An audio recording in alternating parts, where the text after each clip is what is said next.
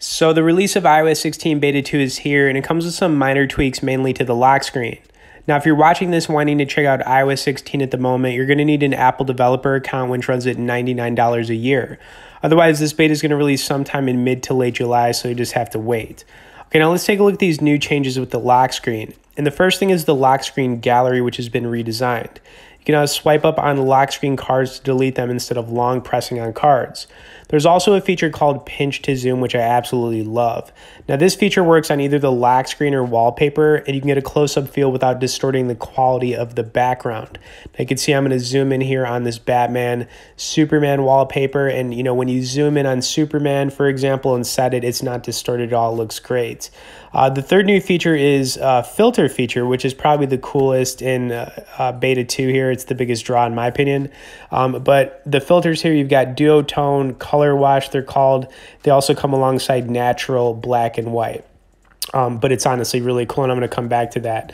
Uh, as far as widgets go, um, surprisingly, I don't think any have been added. However, I think the alarm clock option is new because I don't remember seeing it uh, on the first beta. Um, but yeah, let's take a look at these filters one more time. So, um, super cool, guys. This was just something I noticed right away, so I'm going to pull it back up so we can kind of take a look at them. Okay, so we've got our lock screen, then we got our wallpaper.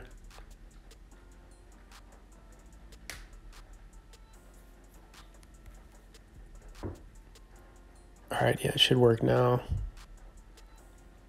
Yeah, very cool with the filters. I think this is just an awesome just an awesome thing to do on uh, iOS 16 for the lock screens. Okay, um, lastly, really the only other thing, in my opinion, worth pointing out has to do with the Apple Wallet. And basically, there's an Apple Cash feature that's been tweaked. The interface now shows the balance and options for sending uh, and request buttons. Then the Apple Card interface and the Apple Wallet now shares a recap of your daily, weekly, monthly um, rewards and earnings. And for now, guys, that's really all the worthy things to talk about on iOS 16 Beta 2. What I'm really hoping to see is a lot more widgets being added on future beta releases, which I'm sure is going to happen.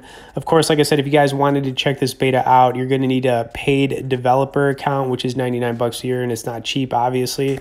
Otherwise, expect uh, iOS 16 Beta to release in mid to late July for free. Okay, anyways, hope you guys enjoyed this one. I'm going to update some other iPhones so we could, you know, check it out again. Thanks for watching it, and we'll see y'all in the next video.